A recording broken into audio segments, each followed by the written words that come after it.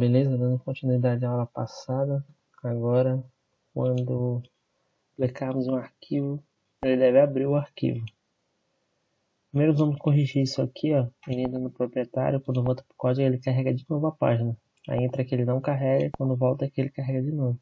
Isso é porque ele está destruindo a página quando troca. Então basta colocar aqui mesma coisa que a gente colocou no, no usuário. É alt, é with automatic keep alive client mix. Esse aqui. Passando o storage. Vai pedir para sobrescrever um método. Esse aqui. True. Então ele vai manter vivo. Então será um hot reload aqui. Agora venho aqui, vou, volto, vou, volto, ele mantém vivo. Lembrando que quando a gente faz isso aqui no, aqui no build, a gente tem que colocar um super ponto build. Pronto. Agora vamos aqui, quando for arquivo, vamos colocar, ele vai navegar também, então é mesma coisa aqui, ó, vou copiar. Só que ele vai para uma nova página. Vamos criar essa nova página. O nome é repositor content blob screen.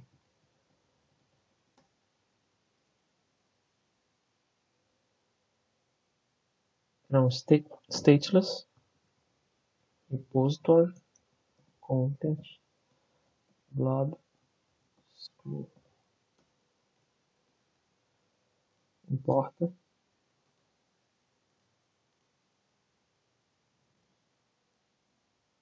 Pronto. Ele vai retornar um scaffold scaffold dentro do scaffold vai tornar next scroll view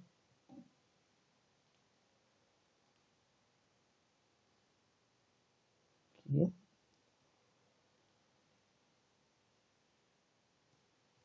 Body dentro do body ele vai retornar um assim layout constructor. Aqui Vou implementar isso aqui, ele vai retornar um array que vai ter um app bar. Dentro desse sleep app bar, colocar um título space zero. O título vai ser um texto. Que vai receber vai receber via via construtor o conteúdo, né? Então vamos colocar aqui. Final content. Content. Então aqui vai ser content ponto name se for nulo ele vai chamar content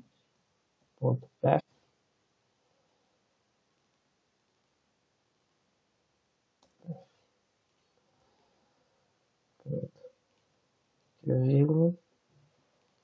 Cloud Constructor vai fazer isso aqui.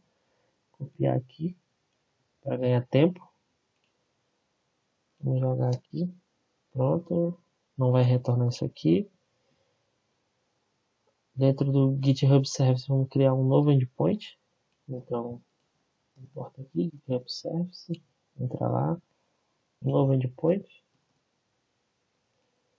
Endpoint vai ser um static feature de content. Find. File. By. URL. Ele vai receber uma string URL assim. Vai buscar. Vai retornar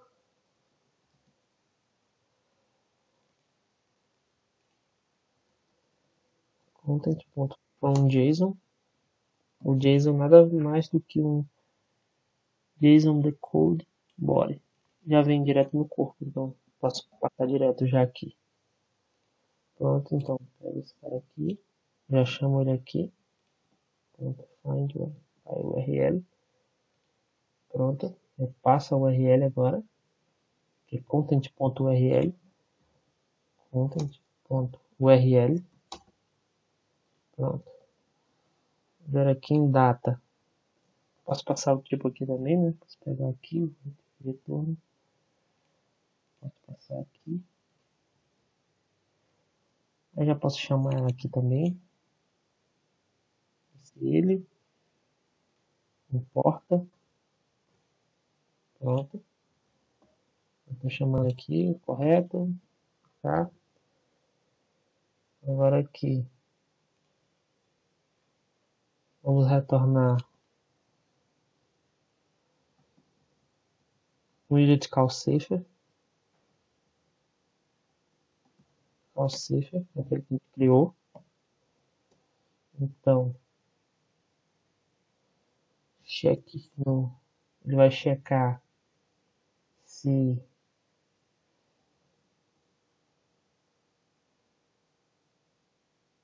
vai checar aqui se o e o conteúdo, no caso aqui, antes de fazer isso aqui, a gente vai ter que decodificar o conteúdo. O conteúdo, ele vem em base 64, então a gente tem que transformar a base 64 na string do TF8.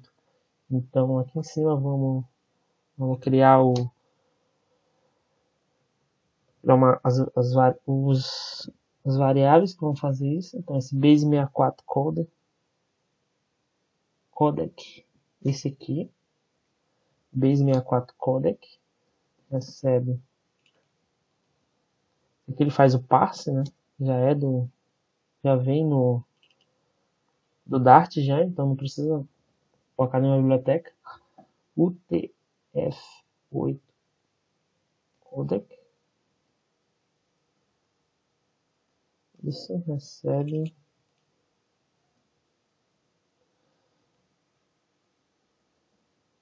Pronto. Aí aqui em data a gente vai fazer um final string decode content recebe. vamos criar um método aqui embaixo. Vamos criar um método aqui embaixo chamado try, try vai retornar uma string try decode então ele vai tentar decodificar. Então ele recebe um content. Content. Um try catch.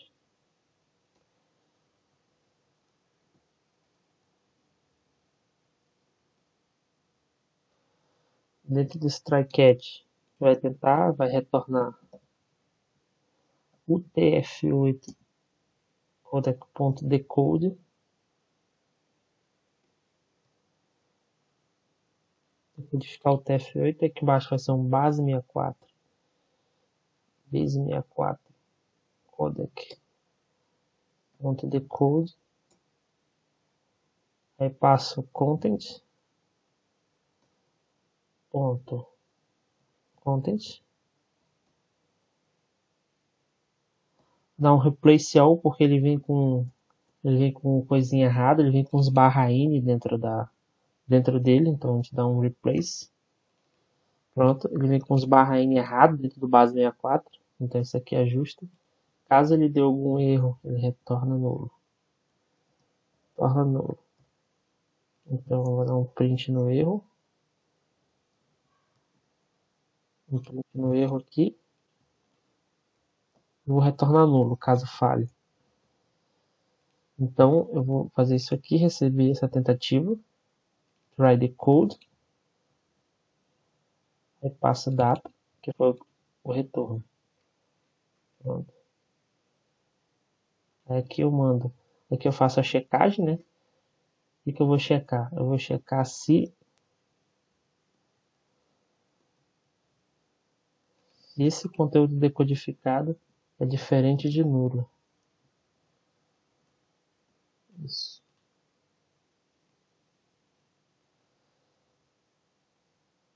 Se for diferente, se for nulo, vamos retornar no center.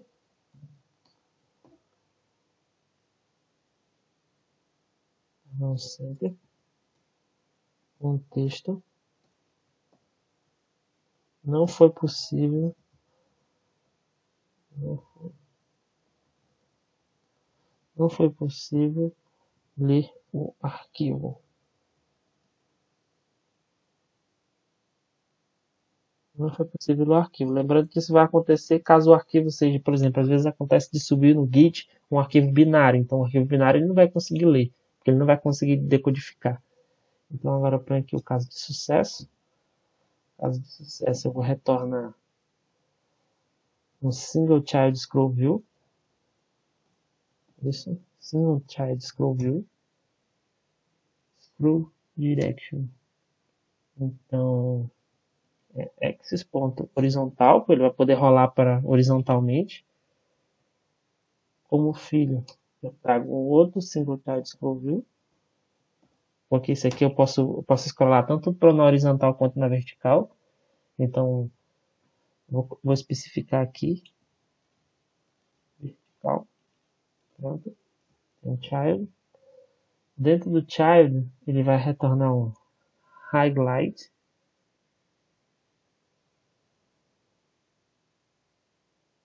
Highlight View, esse aqui. Highlight View, lembrando que esse Highlight View é da biblioteca que a gente importou. Esse Highlight View é dessa biblioteca aqui. Plotter Highlight. Ele que formata o código. Então, a gente vai enviar para ele o conteúdo que foi decodificado. Aqui embaixo ele tem um padding. Então, a gente coloca um add set symmetric horizontal 8, vertical 16. Aqui embaixo ele tem um tema, então ele tem um GitHub theme, ó. Esse tema ele, ele importa aqui desse pacote, tem um pacote aqui que ele, aqui ó, tema, o próprio highlight ele importa. Ele já tem uma variável lá que ele pega aqui. E a gente põe a linguagem, language. Deixa, pode deixar fixado em JavaScript. JavaScript.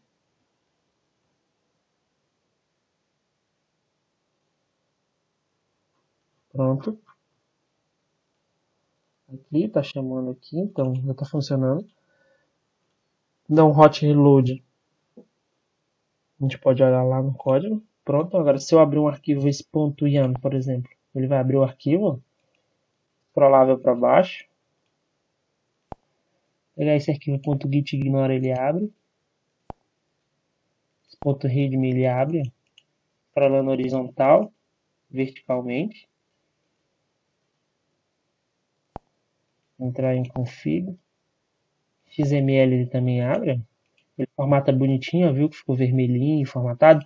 Isso é graças a esse a esse widget aqui, que é o highlight esse widget aqui. Ele traz o texto em formato. Tá aqui bonitinho. E pronto, galera. Essa aqui foi a aula final. Como vocês podem ver, a gente construiu um aplicativo. É um aplicativo simples, mas ele ficou bem bonitinho. Funcionando. Valeu, galera. É isso. E até mais.